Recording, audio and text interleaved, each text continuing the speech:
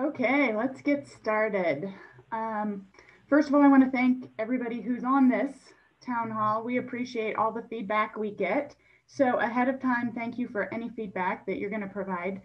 Um, second, I know it's a Monday morning and um, it's, you know, beginning of the week. So uh, this will also be recorded. So if you know people who can't be here for whatever reason, it's being recorded. So please let them know that that is also a possibility um, for watching it in the future. Um, I want to thank Jenny for once again being our moderator. And uh, it will be the normal format for the first half of this town hall. We want to give you all a few updates, um, talk about some issues that have come up, see if you have questions. And then for the second part, we really are starting to look for feedback on F&A indirect rates and then also just moving research and creative activity forward at Idaho State. So the first half will be much more of the traditional town hall that we've all been experiencing this last year. The second half will be more interactive. Uh, Ginny for the first half is gonna take questions in chat, just like always. She has posted that already. So we'll take questions in chat. For the second half, we're going to let you all unmute when you have comments. And I think the way we're going to do this, we'll see how it works, is put your name in the chat and then we can just call on you and make sure that we get people um, so that I don't miss anyone as we're going through. So general overview of what we want to talk about over the next hour. First of all, a couple updates. Second, um, just a little bit of an overview of letting you all know that we recognize COVID has created havoc on a lot of people, and that has, of course, bled into research and creative activities. So a little bit of a um, overview of that. And then also um, starting with the general discussion about how we can move research and creative activities forward at ISU. So I want to start with a couple updates. I have one from the FBI and then I'm going to turn it over to Deb.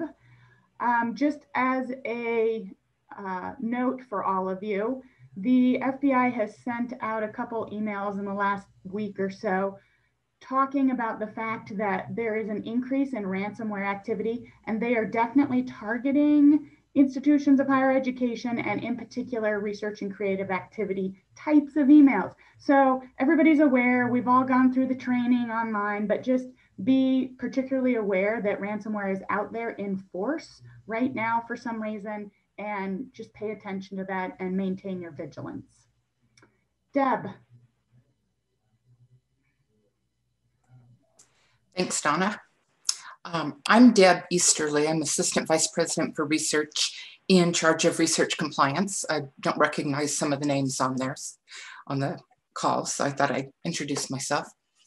I just wanted to pass on a few things that you might be noticing with my name on it um, a little bit more to do with research compliance, things that have been in force, but we're trying to uh, um, make people aware of them and to, to get back and make sure we're doing things correctly.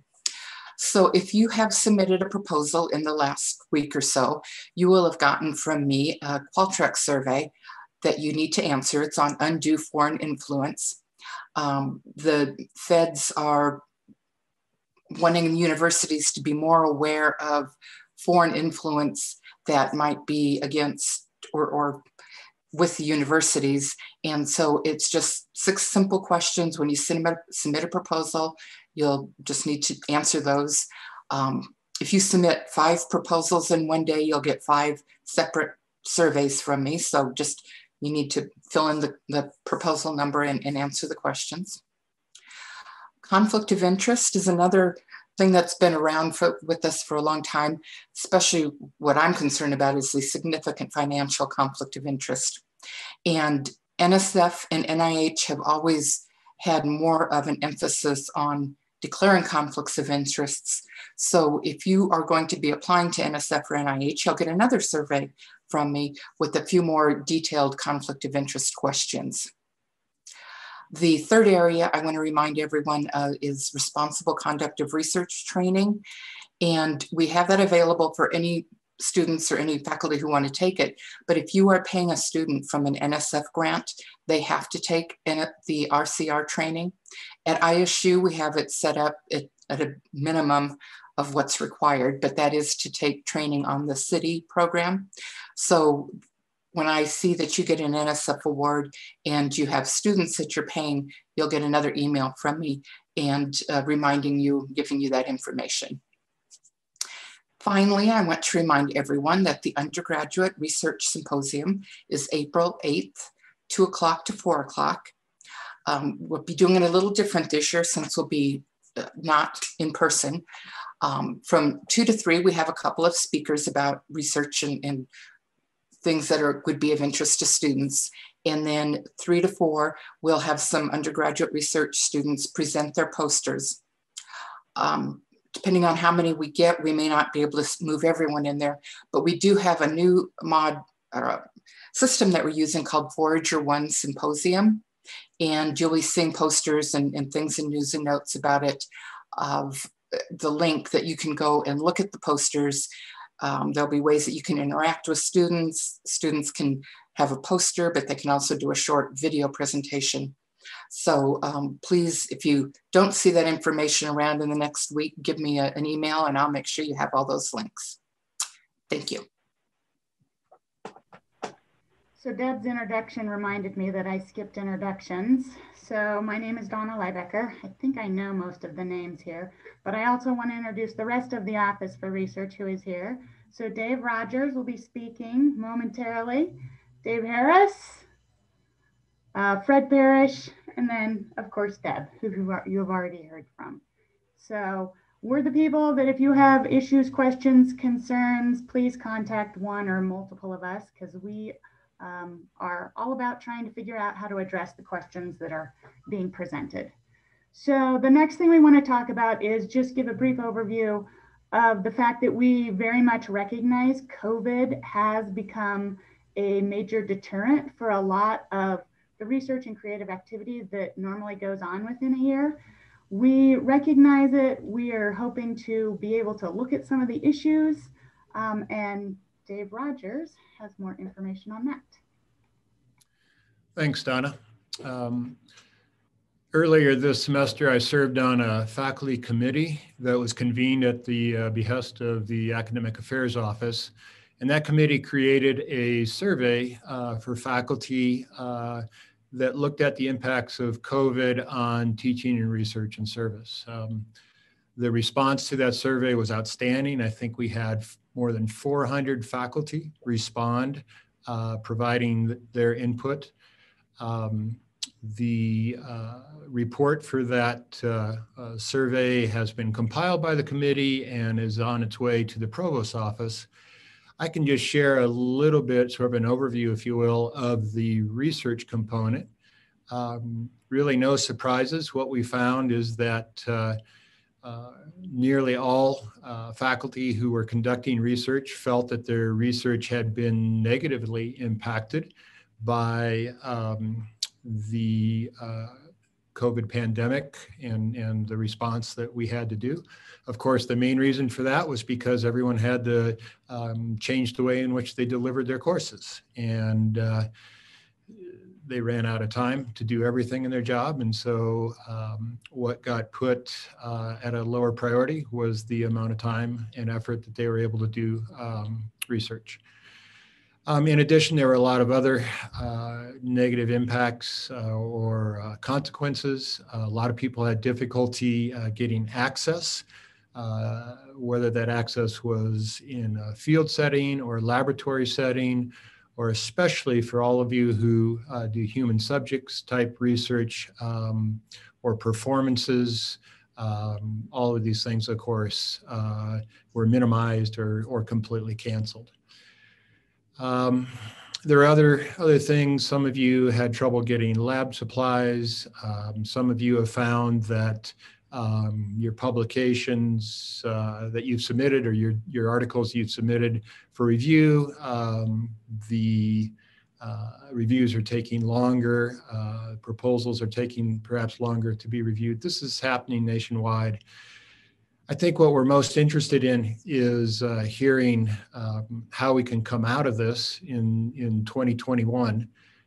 Um, so if you have any questions on, say, Office of Research um, assistance that we can provide uh, as we come out of this, uh, you can ask that later on in the uh, Q&A part of this uh, presentation. Thanks, Dave. All right, the last piece of information before we open it up to comments from all of you is that we want to just give a general overview of where we are today. So in order to move research and creative activity forward at Idaho State, the Office of Research believes we really need to address two distinct things. Well, they're not distinct, actually, they're very intertwined. Two things that are intertwined. The first one is looking at the F&A rates. And caveat to this, this is tied up in the renegotiation process that Idaho State is, is doing with the federal government at the moment. So we're working on a space survey. We're working with the feds to renegotiate these rates. So we don't have the ultimate uh, endpoint for that negotiation yet. So we're still in somewhat of a holding pattern for, for knowing exactly where we're going to land there. So that's something that we're looking at. The uh, finance actually is looking at the space survey and whatnot.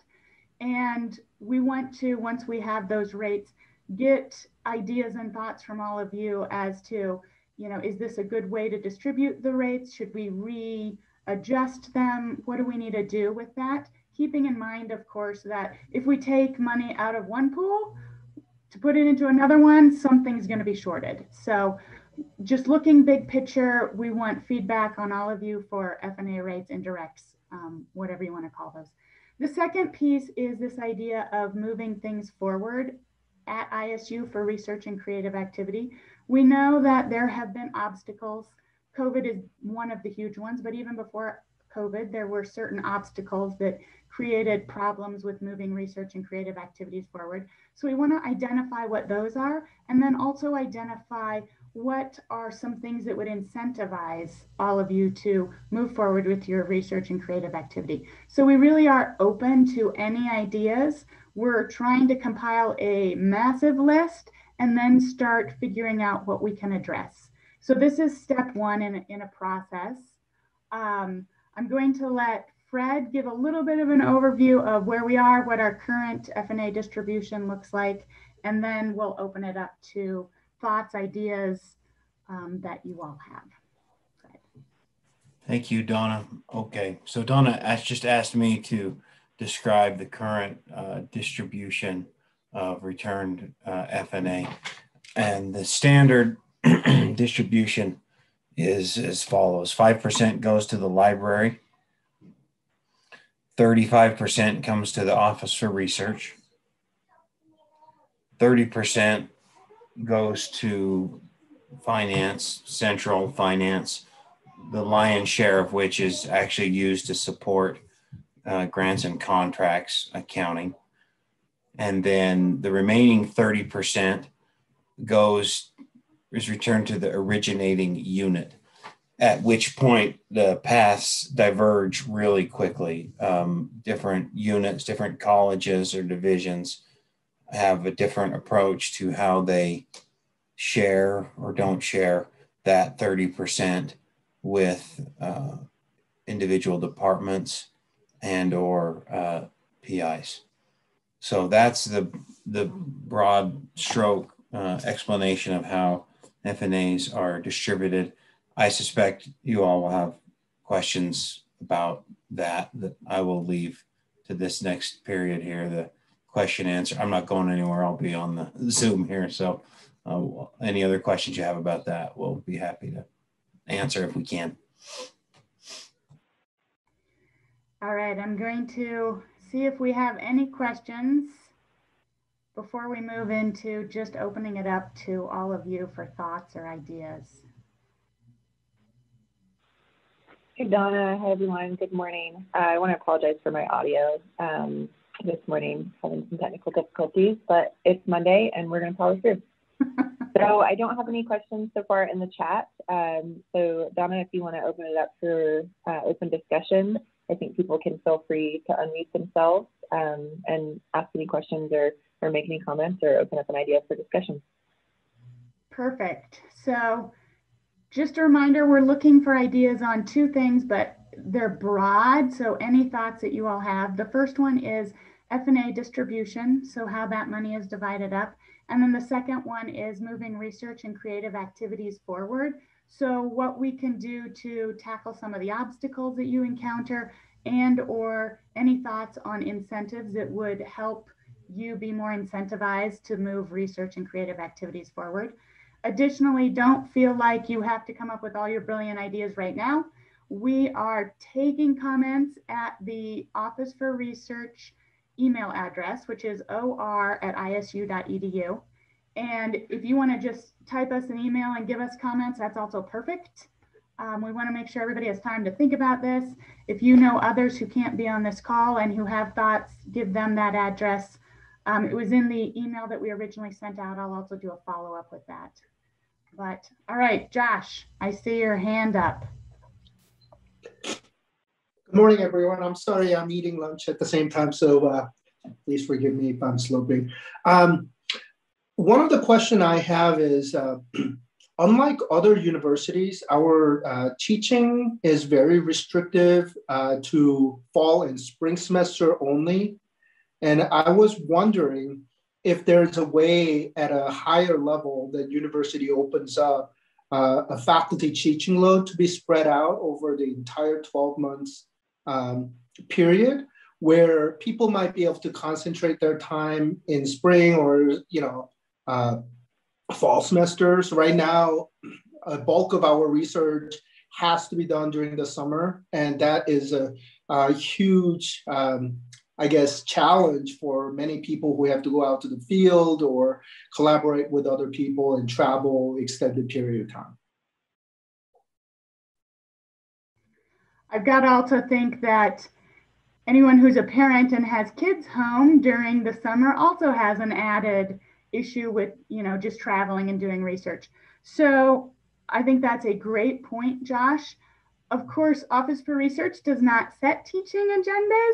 So this is very much a academic affairs provost slash dean's question, but I will certainly put it forward to all of them and note that it does impact research. There's so much overlap between teaching and research that this is an issue that I would like Office for Research to be a part of the discussion, and we can certainly make your point um, in that discussion. Additionally, just as an FYI to everyone, I know that the bigger picture of ISU is looking at what do we need to do to move forward out of this COVID situation. Higher ed obviously has been very much shifted since we have so much online, since budgets are you know, hit at many state levels, even at the federal government level. So I know that higher ed is in this process of transition, and there are a number of committees in ISU administration that's looking at that. So I think, Josh, that that's a really great point, not just for academic affairs, but also I can bring it forward to some of those other groups and just put it out there as an idea of how we can move ISU forward. So thank you for that. If I could add, Donna, uh, there is precedence for that in the College of Science and Engineering. Uh, over the past 20 years, we've of course had many deans. Some deans have uh, uh allowed that. I can think of examples in mathematics. Uh, of course, they have to teach a lot of summer school classes, and uh, I can think of a couple faculty members through the years whose appointments included um, full teaching loads in the summer um, as opposed to, say, a fall or a spring. So I, I think it's something that uh, chairs and maybe individuals work out uh, with their dean. So, and Donna, oh, yep. excuse me, Donna, I was just going to say we have um, a question in the queue as well. Can you share the breakdown of the 35% of F&A allotted to the Office of Research? I can, Jared. That's a question I was ready for, so thanks for asking it. Um, so the biggest portion of that goes toward uh, internal grants. We so I'll, I'll, I'll go so far as to put numbers on this. For next year, we're anticipating about eight hundred and twenty-five thousand dollars. It's a guess, of course, how much we're actually going to recover. but we anticipate about $825,000 in, you know, that 35% that comes back to us. 250,000 we set aside for internal grants. Um, and then another 25,000 for research support. So that's 275,000 that we return back or not research, research travel support, excuse me. So that's 275,000 that we have budgeted to return back via those two devices, you know, to directly support research in that way. Uh, another couple hundred thousand goes towards supporting our core facilities and labs, animal facility, the molecular research core, some other labs that fall within our purview who we give support to. Um, 120,000 is budgeted to go toward research development and office or sponsored projects support. Most of that is for Cayuse. Uh, that program offers us a lot of uh, capability. It's very good, but it's also very expensive, unfortunately. Um, so a big chunk goes toward that. Uh, and then a number of other activities, the compliance operation, research integrity and compliance, Deb leads is 50,000, uh, 25,000 for patents and intellectual property uh, maintenance and support. The Office of Research provides that. Um, we have 75,000 for what I'm calling grant development support. So that includes uh, most of that, more than half of that is for support of the EPSCoR grant.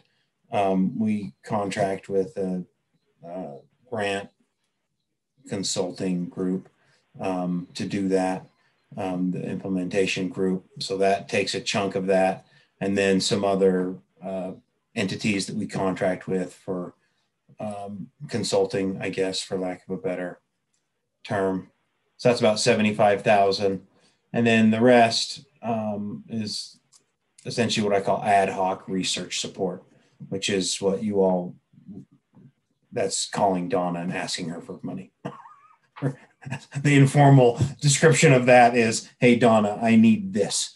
Um, so there's, you know, a chunk there for, for that as well. Now, keep in mind, as I went through those budget numbers, Office Research also has appropriated funds that we use. So that is not, you know, sort of a summation of the Office Research's budget in total, because we support a bunch of other activities through different funds. But in terms of the F&A return, that's how that breaks down. And just one little addition to that, the EPSCoR grant, for anyone who is not um, uh, not in the know as to what that is, it's a grant that is between Boise State, U of I, and ISU. So the contractors that we work with is is a group that works with all of the universities. So it's not just ISU that pays for that one. Um, Lori has a question. Yes, hi, thank you. Um, most people don't know me. I'm fairly new to ISU. I'm uh, the program director for Homeland Security and Emergency Management, which is housed within the Emergency Services Department. So I'm sorry I'm on a learning curve, which might be part of why I have this question. Uh, about the F&A disbursement, um, I was taking a look at the 30% that would flow back to the originating unit. And for our programs, our academic programs in emergency services were clinical faculty, very, very few ISU permanent faculty members. We use a lot of adjunct faculty to instruct in our programs. And I was just a little bit concerned that if we were, I anticipate there being a fair amount of grants being generated uh, related to COVID from emergency management and emergency um, logistics support that could be coming from the Department of Homeland Security, that we would have some excellent, um, knowledgeable adjunct faculty who could work on some of those. But I don't know the logistics of that or if there would be enough uh, resources, financial resources, to be able to compensate them if they were doing that work. So that was my question. Okay, so there's a few questions in there. One is can you pay these adjuncts? And part of that then is going to go back to how the grants are structured, right? I mean, if you've written them in as a direct expense into the grants, whatever, that's, you know, so you're going to, if you do that, then it's moot, irrelevant to the conversation here. And that would be preferable, right? Anytime you can write something in as a direct charge to the grant, you know, that's where you want to go if possible. Okay, then what you're more likely asking is how much of the indirects that those grants generate are going to be available to your department in order to provide other uh, funds that you can't direct right into the grant. So, as I said, that varies depending on the unit that you're in. So, um, are you in the College of Technology? What unit are you in, Lori? Uh, we're, we're part of health sciences, uh, emergency okay. services. So I'll give you two answers to this question. The one answer is you need to talk to your business office in the division of, of health uh, sciences. They can describe to you how the the 30% that is returned to the division is distributed within the division. Um, now, I will also say that I, I can look that up for you on a specific grant. If you want to know how are the indirects returned on a specific grant, I can look that up for you. Um, but I won't be able to tell you anything beyond, okay, here's the percentages. Um, and I'm, I'm willing to do that. So if you, if you want to reach out to me, that goes for anybody. If you're curious how the, you know, what your 30%, you know, who's your originating unit that's getting that 30%, um, I can look that up for you. But anything beyond that in terms of the management of it or negotiating, you know, there might be some provision in your college to negotiate with the college for some larger share of those indirects to be returned to you. That that's handled administratively by management of the units.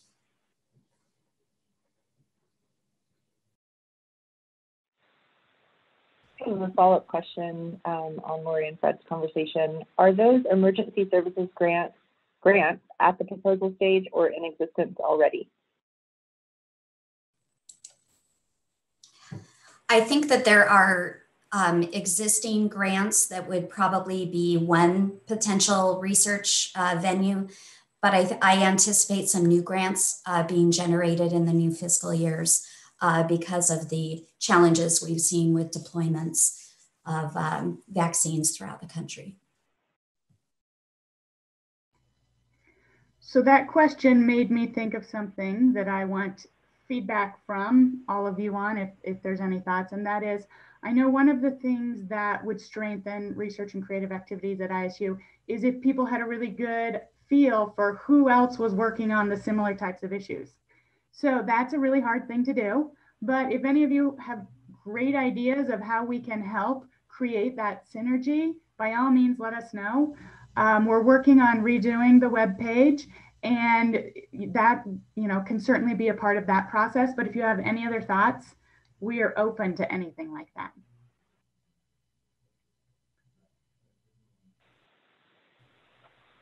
okay and we have another question for fred um, the question is if Fred could recap the internal grants and travel portions of your discussion, and then a suggestion that um, you could write something up later and share it. Uh, recap. Uh, we give about two. We'll give about two hundred seventy-five thousand dollars this next year. We'll spend about two hundred seventy-five thousand dollars on internal grants, and then the research travel support.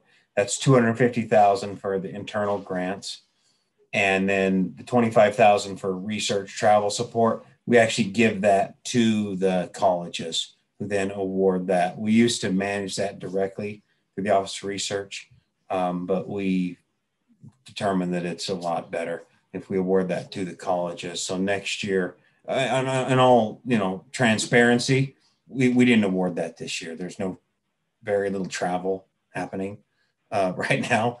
Uh, and so we just kind of call us evil, but we just took the prerogative to say nobody's traveling. We're not giving that. But we have it in the budget for next year to award that $25,000. I know, Dave, I'll let you chime in on this if you want. Um, we do have really uh, accurate uh, reporting on how those internal grants have been distributed in the past, you know, by college and so on and so forth that we can provide, you know, as directed by Donna or Dave's discretion. Yeah, Fred, thanks. We we have it broken down by college, um, by year, by grant program. Um, however, you really, however you want to see it. I mean, it's just it's not at the individual grant award stage, but by year, by college, by grant program. Um, if if I mean, just Jenny, if if I could share for just a second, I can I could pop up a, a table to to show you real quickly. Um,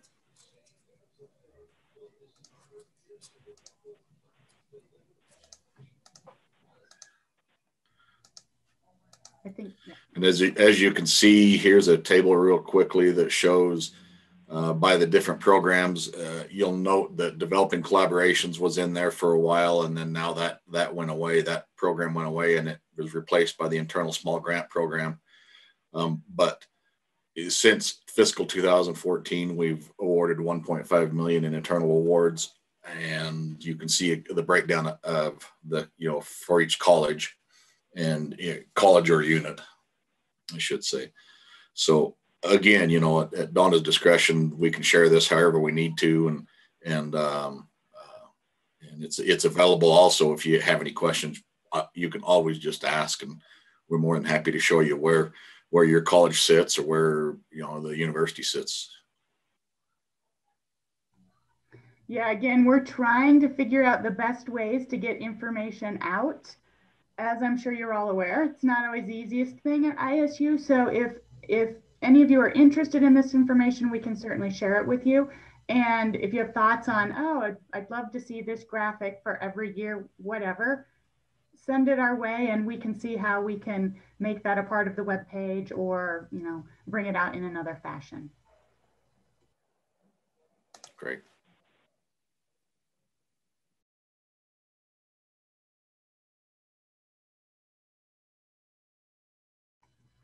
I don't see any other questions. Do you see any other questions yet, Jenny? Are you getting anything?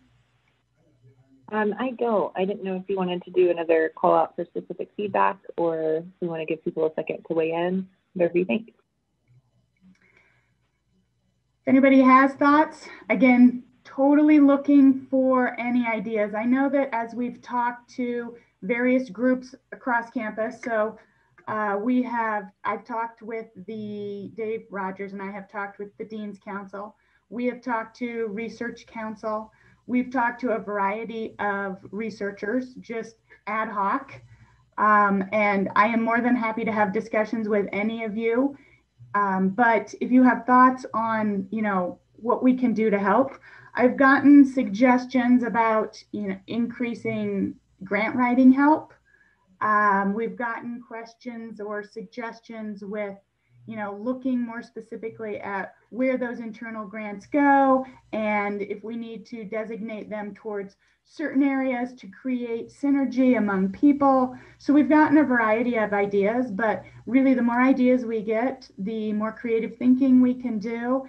And it, we think it will move us forward in the long run. So any, seriously, any thoughts you all have, send them email, call me up. We can set up a time to meet, put them in the chats now. All great. Okay, Donna, we have a couple more questions um, while people are thinking about that feedback. Um, the first question is for you, what is your plan for ISU overall indirect plan? That's a great question. So I can tell you that right now we're sitting at the wait and see point for understanding where we're going to be with the federal negotiations because obviously depending on what our federal rates are that impacts the amount of money we get at ISU and there are certain things that we we have to do like pay our grants and contracts people. So there are certain um, set budget items that it you know the percentage of F&A that will go to that is going to vary just depending on how much F&A we get. So there is, there are some things that we have to address, but then looking at the rest of the numbers, um, we don't have a set idea. I know that we have toyed with doing things such as giving some money directly to PIs. That's been brought up as a possibility. Um, taking money out of some pots, and it hasn't been clear exactly which pots, but and doing things like hire a grant writer or share grant writers where Office for Research pays for part of it and a college pays for part of it. So there are a lot of ideas out there. And honestly, we do not have a set idea right now. I do believe that we need to maintain our percentage that goes to the library. I think a lot of people utilize the library, particularly the online access right now with COVID. So most individuals that we've talked to have still supported giving that chunk to the library. The deans and the colleges, of course, want to maintain their 30%, mostly because they're they're able to do things like startups, um, travel, that type of thing with that piece of money. So I know that they're committed to having that. But right now, other than the things that have to be paid, like the salaries, um, you know, we're willing to look at a whole variety of ideas. So that gives you a very fuzzy answer to the question. Um, as we get more information from the federal negotiations, we will certainly update everyone and have a little more solid foundation to build our ideas from. But if you all have thoughts on where you think that should go, let us know. We're open to, to toying with those ideas. One thing to keep in mind with regards to the uh, the negotiations with the federal government and the F&A rates um, would be that we need to keep in mind that it's a it's a marathon, not necessarily a sprint with those negotiations. And so we work with a consulting firm to put together all sorts of information that affect our rates. That could be the amount of research space that we had in that we have in this rate negotiation versus last year last time that we negotiated. Um, the amount of in, indirects or overhead that we recovered, the amount of indirects or overhead that we waived or that we should have gotten that we didn't that we didn't capitalize on. And so all of those things factor in. And then once we give our proposal to the federal government, they're indicating that because of everything, you, we are at a 12 to 18 month waiting period after after we get the, the proposal into the government. So it, we're going to be operating under our current rates for a while, but they could definitely change and most likely will change in one direction or the other. Okay, Donna, I have a couple more questions. Um, what is the Research Council doing and what part do they play in this process? So the Research Council is our connection to general faculty. So they have representatives from the various colleges and they talk about a whole variety of issues. They help with assessing distinguished researcher. They tackle some of the big questions we have. They look at internal grants. So who gets awarded the internal grants? So they do a lot of the um, connections between the faculty themselves and the things such as internal grants, distinguished researcher. Um, Trina Renning, who is on this call, is heading up that committee this year, and they're doing great stuff. Um, you know, I am more than willing, if, if there are specific questions with that, I am willing to address them. Um, maybe Trina would also be willing to, if there's anything for her.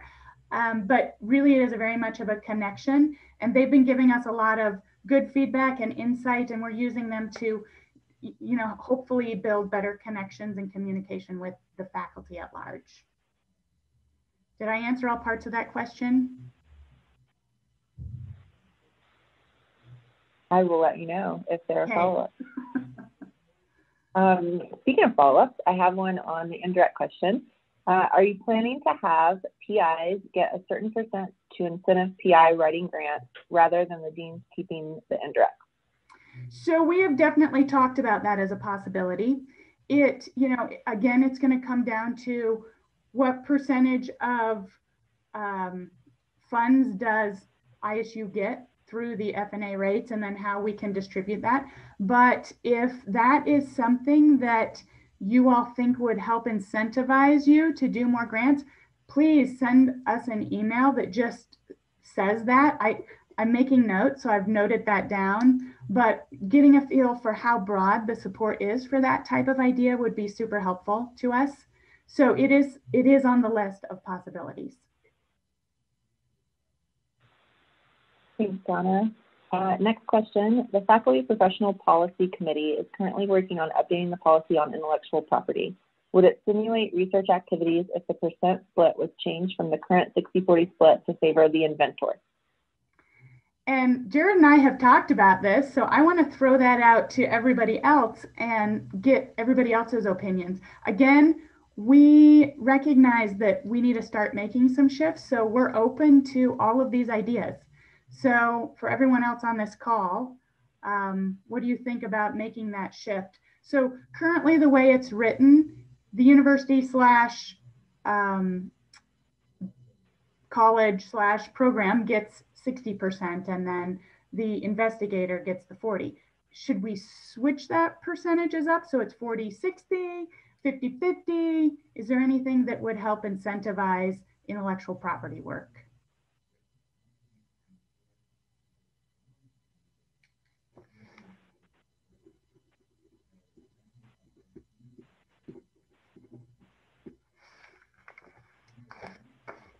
And again, if you all have thoughts on that, feel free to send us an email, or at isu.edu, um, and you know, throw it out there. We'll we'll take all of the information and see where we land. Donna, I have one comment on that that says 50-50 is better. It says 50-50 is better? Great. Yeah, and to give Jared credit here, he and I have talked about how you know, it, it takes a lot of time and energy on the PI's part. And they want to feel like this is, you know, a way that they get a benefit from all of their work. So we recognize that. And, you know, if if there are ways that we can incentivize more intellectual property work, great. It's going to be a win-win for everybody. I have another comment on that point. Um, undergraduate research has good return on investment. In addition to State Board of Education funds, my suggestion is to look for new ways to increase opportunities for undergrad research and open it up for more students to participate. So I love that. I think that's great. And I can tell you that many of the meetings I've been in with the other institutions and then also State Board of Ed members have emphasized undergraduate research. The state legislature, the State Board of Ed, is very tuned into how education is the key factor for institutions, and research is a part of that, but they like that education link. And they see that very directly when we're talking about undergraduate research. They can see how an undergraduate working in a lab, that is a part of that educational experience. So they are very much um, pro this type of research activity. Because of that, we do see things like the HERC funding, the Higher Ed Research Committee out of the state gives some money specifically to undergrad research and also very supportive of things like the undergrad research um, talks that are coming up. So building on that, great idea. Um, I know that we have also had suggestions that graduate students need to be more incentivized when it comes to research. So I have noted both of those things. If there are ideas on how we can build on that, is it simply, you know, funding students to do research? Is it making, I don't know, certain things more accessible through the library so they have easier access to research? If you have any ideas on how to build in that research, that would be great. And Deb, I don't know if you have any additional comments on that. way, way back when I started at ISU, um, the Office for Research actually had a pool of money for graduate students and for undergraduate students. And then um, over the years and the vice presidents, that went away. But then the state board started funding undergraduates in STEM. But that's all we can fund out of undergraduate money is undergraduates in STEM disciplines. So I would love to see ISU contribute a portion to an undergraduate research program. And I think a lot of it is money, being able to get the students to work in the labs and do research and so that they can afford to not have to go get a job outside of campus.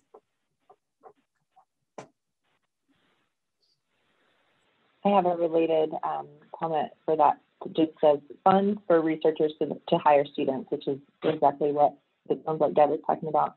Um, and then another follow-up comment to this. Yes, anything that will give a percent of indirects back to the PIs for all the work and effort they do that goes into getting grants will encourage and incentivize them to write more grants. Right now, it's done different depending on the unit. Um, unit in. It should be the same for all faculty across the university. And that is very true. The different colleges distribute their funds differently, and some of them give funds directly to PIs where some of them don't. So, doing it, having more of a uniform um, is definitely something I'm noting down. And while you're doing that, Donna, I think I think this next question might be for Fred. Um, is it still the case that ISU covers the expense of patent filing fees and maintenance fees? Yes, although uh, you know that's not some blanket. We don't necessarily cover it for everybody who asks. I mean, we don't have a really um, airtight rule as to you know when we might decide. You know what, we're this this particular technology is great and wonderful, but you know there's not a market discernible market for it, so we're not going to pursue that. We we don't have a uh, airtight policy regarding that, but if um, we do choose to pursue uh, patent, then yes, we cover it. That's, I mentioned that we use, that's one of the uses of our um, indirect recovery that the Office for Research gets is paying those patent filings and maintenance fees. And just to add to that, we do have a, Fred's right, it's not airtight, but we do have a process we go through to look at what is the idea, how long have they been, you know, the person been working on this, is there a market? So there are a number of issues that we look at for each one in order to make those determinations.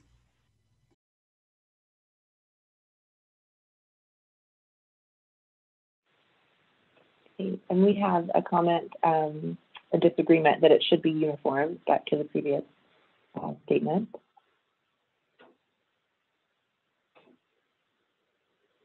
And there's always the possibility of doing a uniform minimum and then if colleges want to shift it from there. So I think there's a variety of ways we can look at this to still allow flexibility at the college or division level as well. Okay, thanks, Donna. We have um, kind of a question, uh, clarification. I was trying to understand if the college 60% split goes to cover the fees.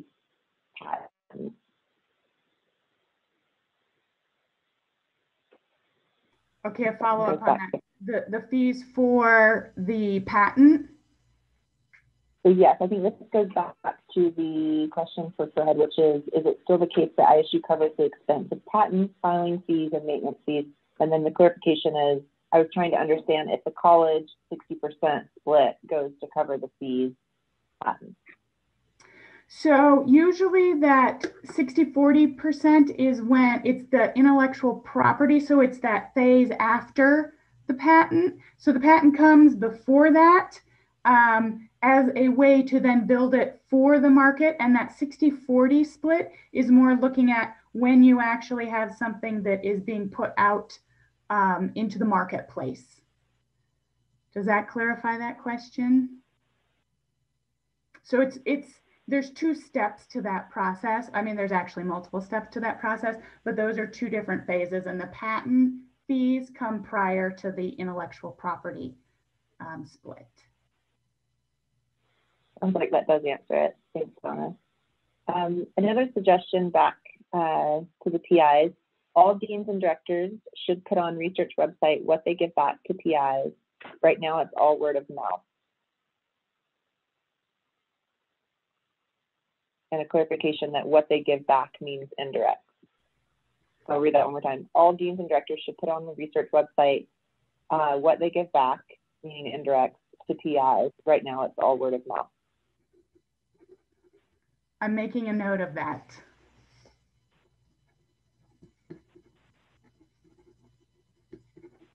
That's a little tough. I'll just comment on that because, you know, I can only speak to my college, you know, in College of Science and Engineering, but in, in the College of Science and Engineering, the dean uses um, a big chunk, about half, not quite half, but approximately half of what the college gets back. He gives to the departments as research, you know, block grants. So the 30% comes to the dean. There's not an automatic sort of where you would say, oh, I'm automatically redistributing such and such percentage back down. But, you know, it, it does get distributed back to the departments who then have their own methodology for how they award that to individual PIs. So it is going to be a lot harder to provide that kind of reporting than you might think because I'm guessing what most of the deans would say is, well, that percentage that we give back, we give almost all of that or some gigantic percentage of that back to the researchers. It's just given back instead of as this direct line channel, it's given back via these various um, you know mechanisms that they use to support research in their colleges. So that kind of reporting is going to be harder to put together than it really seems when you first think about it it might be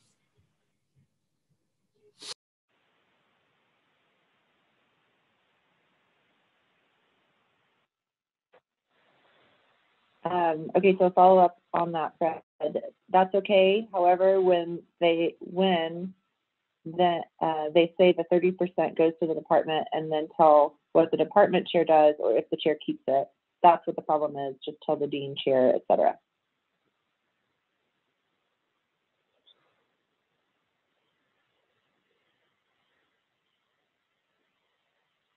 And we have um, another suggestion um, having local accounts such that we can see how much we have brought in in indirects and have to spend would be useful. Similarly, being able to easily see how much has been spent on an account would also be helpful.